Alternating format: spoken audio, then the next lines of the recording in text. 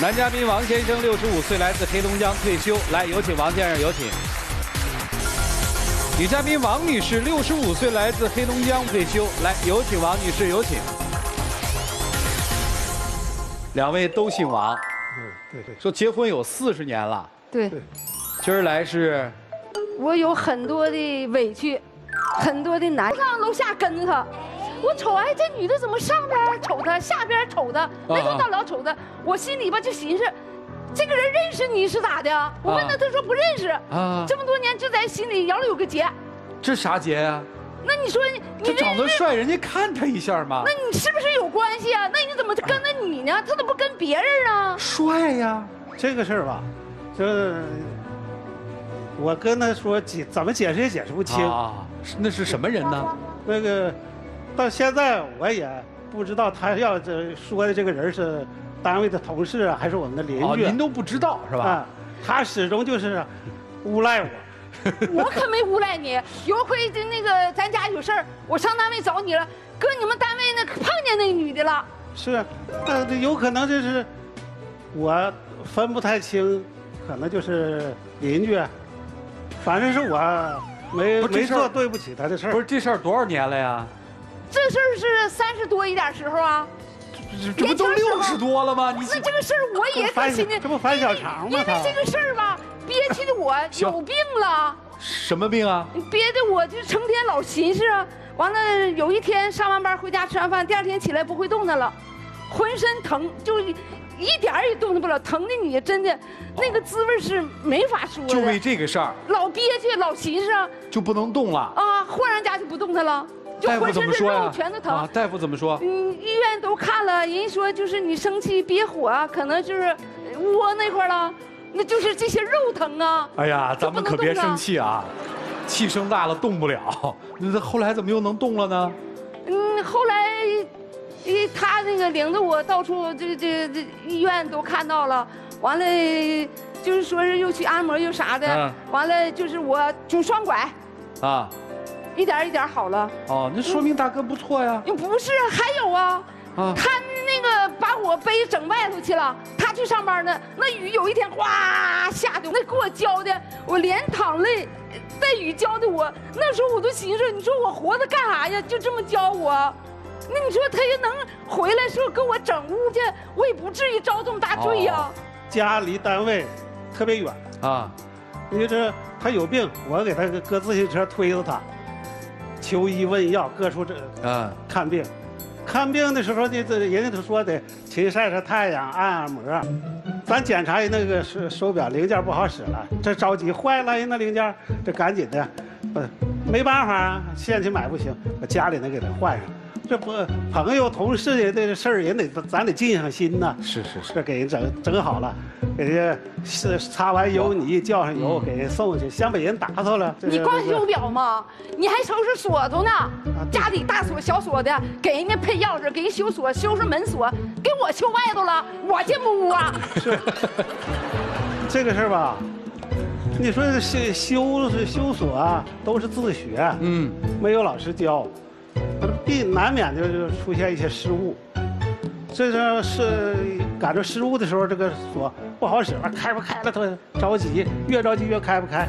那你说你进不来，找个开锁公司开开了，不就开锁公？司花钱吗？他是不是得花钱？那也影那你不买那个东西搁那咱家过日子，是不是能宽敞点儿？那也影响不了还这个生别想活，嗯那谁帮你一把呀？那这都过去的事儿，这老翻小肠。单位有的同志，人家上外边去开厂子去了，啊因为他有手艺，人让他去，他搁单位一个月挣几百块钱人家出去一天就给他好几百块钱。他不去。他不去，我说你就去呗，咱家租房就这日子，你就去呗，死活不去。完了，整这日子过的，儿子结婚时候，我俩把我们住那个三十二米的房子倒出来，给孩子结婚娶媳妇儿。完了，我俩又管朋友和亲戚借钱买了个二十八米房子，到现在那么住着呢。到过年过节，儿子、孩子、媳妇儿都回来，没地方住。嗯，一共就二十八米房，连厨房什么在那儿，搁那儿挤着。你说他要出去挣钱，是不是我们能宽敞点儿？他就不去。是是是是是，为啥不去啊？当时那个年代，国营企业的职工，单位培养了这么些年，真把应该把自己的全部的力量都投入在这个企业里头，报效他。因为我我个人的考虑是啥？如果到私人企业那去呢，他给他创造了一定效益以后，我在国营企业这边呢，他不有一定的那个福利待遇。到那儿去了以后呢，那就是短时间的。他以后呢，人家不用你了的时候，你就啥也没有了。我是这么考虑的。明白，理解过去理解，我理解您这个，但是您爱人肯定不理解。现在有房了吗？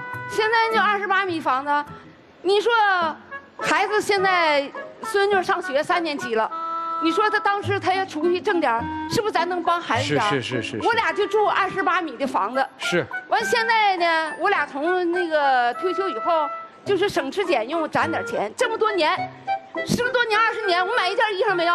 买一条裤子，买一双鞋没有？是不是没有？明白？所以您今天来是要想把这些苦水都倒一倒，对吧？是。啊，您直接说不就得了吗？那你说这么年我跟他受这些苦，我我我有一个最大的感受，今天带来了一个本分的好人，啊，在那个时代尽自己的本分，对，踏踏实实、实实在在、本本分分的为自己所在的单位工作，甚至不顾及家人的一些感受，对吧？对对，热热心心的为邻居服务，有的时候邻居家的事儿，甚至好比咱自己家的事儿大，对对吧？碰到了时代转换的时候，总觉得要考虑过往的一些东西，所以没去跟那一步，结果发现跟那一步的人都富裕了，咱的生活好像还在过去。老两口有意见有冲突了，行吧，你们看看吧，啊，我们一起进入新阳美容 APP 丘比特问卷。我觉得您这一辈子特别委屈，真是委屈。我真觉得就是听你这个，我都觉得特心酸。要不就算了，你看下面好多这个阿姨好像对叔叔都挺有兴趣的，您要不就放手吧，好吗？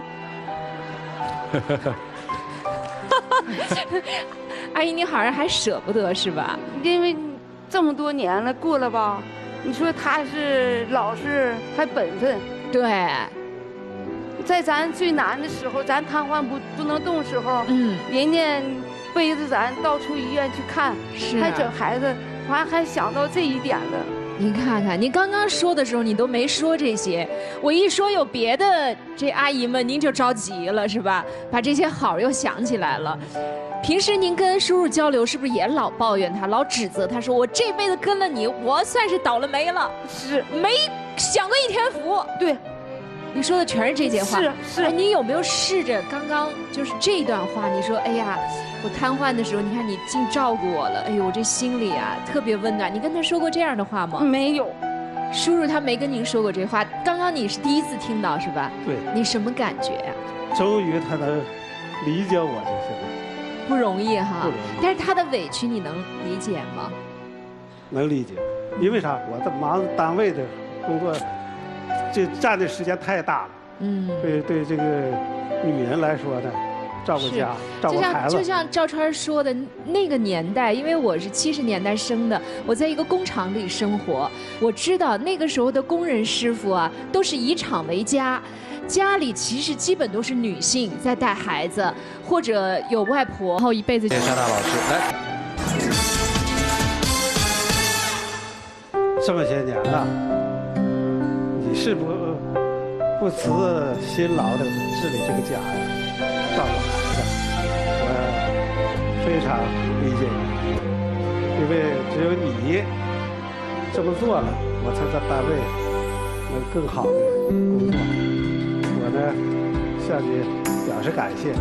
今后呢，咱们的日子呢，我就想安安稳稳、平平安安、简简单单的过下去。刚才这老师们说，呃，我也想了，在我最难的时候，你背着我，呃这儿那儿看病，还管孩子哈。我现在嗯寻思到了，呃，为了今后咱俩这么大岁数了，呃，也不容易过了这么多年，嗯、反正跟你就这么稀里糊涂过去吧。来，请亮灯啊！谢谢两位，请回。谢谢两位，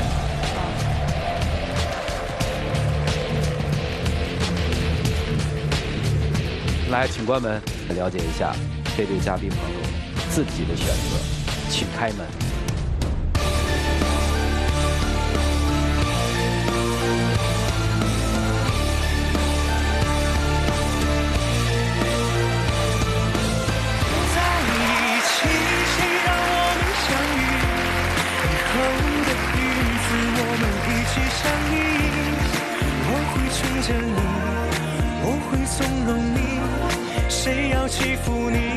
就站出保护你。就在一起。来，有请我们的小花童。